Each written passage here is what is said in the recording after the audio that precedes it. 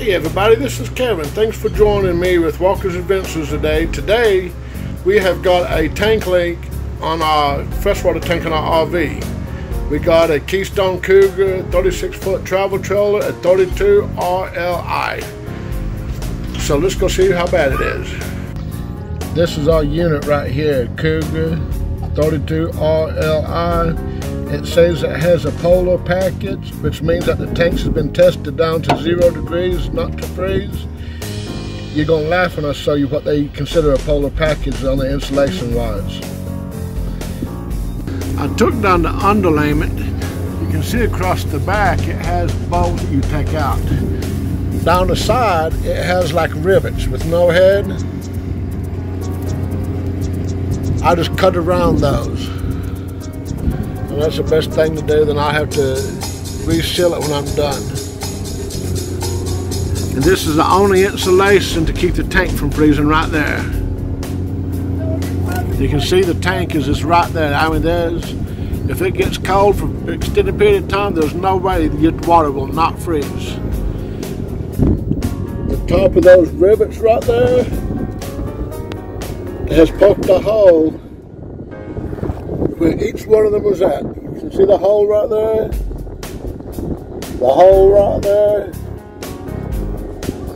the hole right there, the hole right there. So this is a real bad design for a water tank. Whoever was the person that decided to put the rivets like that needs to be shot. Or at least fired for being not that intelligent. So now I'm going to have to try to find some flex tape. I'm to cut off those bolts so that we won't have this problem again after I fix it. But this is just, I, I can't believe they did something like that. And this is a 2018. And you can see I just got a couple of pieces of wood, put it underneath this side. That way you get to the bolts. See the bolt heads are right there. Right there. Right here. And they stick up probably three quarters of an inch. The good thing about it, on the other side, I don't have to worry about the holes in that side because it was smart and they didn't put it close to the brads. And I thought since I had it down, I'd show you. This right here is your pickup line for your pump to pull water into your camper at the very bottom. This is your low point drain. You got your fill line right here, which is still good, it's not leaking. You got your vent line up above it.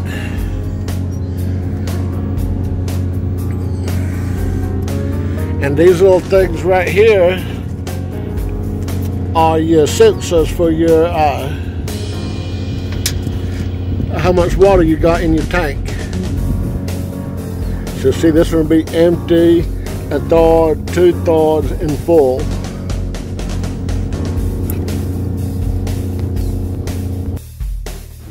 And here I am cutting off the bolts I poked holes in the tank.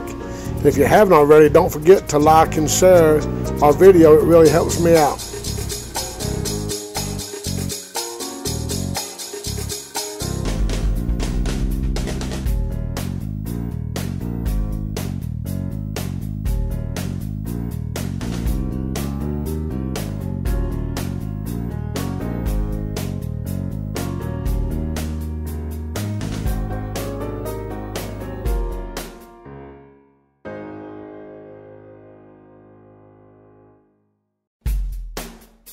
So I'm just going to use just some plain sandpaper and smooth it down to the touch so that it will have good bonding whenever I uh, patch the tank.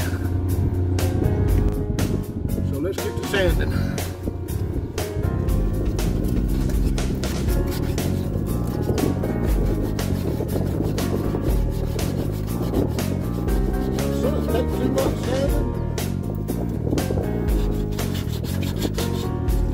have it so we got a good bond and good connection.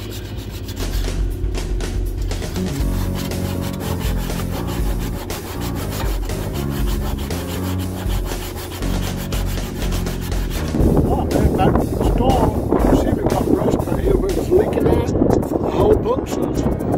So as I was at Walmart, I got some metal sanders to get it off and some paint.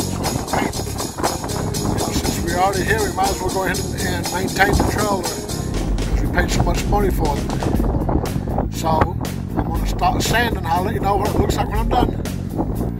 I don't think I told y'all I'm using a cordless drill to grind all the rust off of the metal. Works really good. Well worth the money. I know you ain't gonna believe me. This is what holds on the underlayment.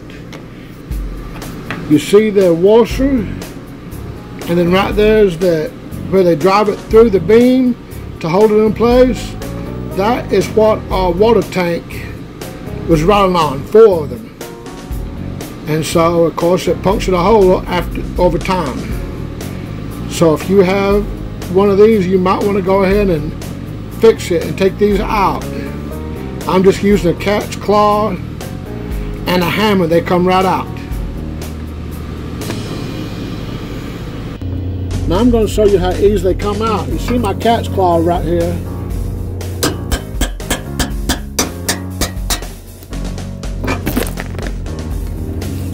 That's how easy it is. You just got to get it underneath the washer and it just pops right out. I wish I'd have seen a video on how to do that instead of cutting my underlayment, but I'll have to fix it back. But FYI, now you know how to take them out. This is what we got, the flex tape. See how that holds up on it. I think it should do fine, but we're going to see, and I guess I'll, we'll be the guinea pig, and we'll let you know if it works or not. They say it does. You see them on TV, cut a boat in a half and tape it back together and it don't leak. So we're getting ready to find out how she does. Okay, I don't know how good you're to be able to see this, but here goes the first piece.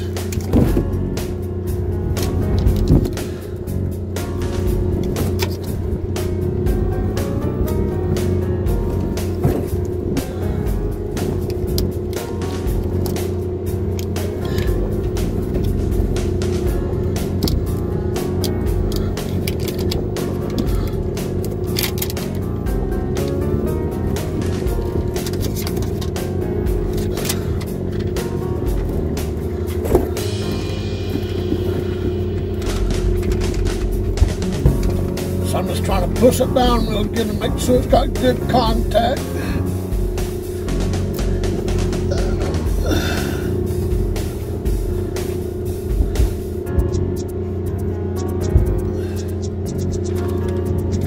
Okay, there's piece one.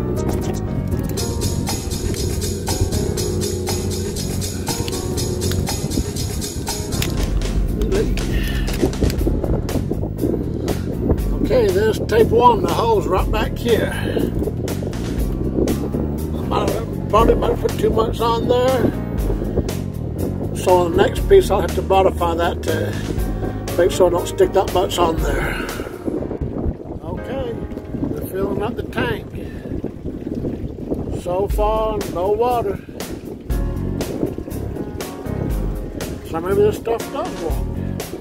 I was always a doubter about, hey, so far we got no drips. And what's good about it, the hose is right here behind this piece of metal.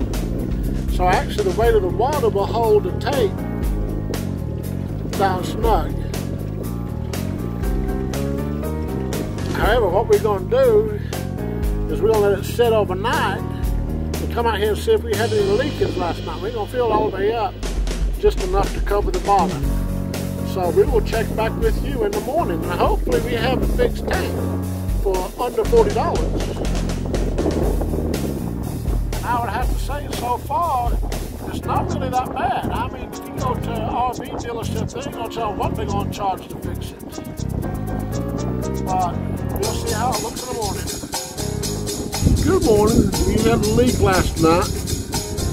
So I had to pull the bracket from the other end and move it down so I could wrap the tape around the corner. You can see right now, you can see the water on it. I got it about two thirds of the way full. And no leak. So it, it works. So I fixed the tank for $40. So now I'm just going to slide it back, put the bracket back on, put the underlayment back up, and I'll be done with it. So I'll show you what it looks like when, it, when we get done with it. Okay, everybody, here's the finished product. Shaking it, taped up nice and neat, no air holes. Same thing with the other side over there. I have to say, on a hardness scale out of 10, it's only about a 4 to do this. Took me probably about 3 hours total, both days to, to fix my tank. And it cost $40 to fix it. So, this is Kevin with Walker's Adventures. Thanks for watching. See you on the next video.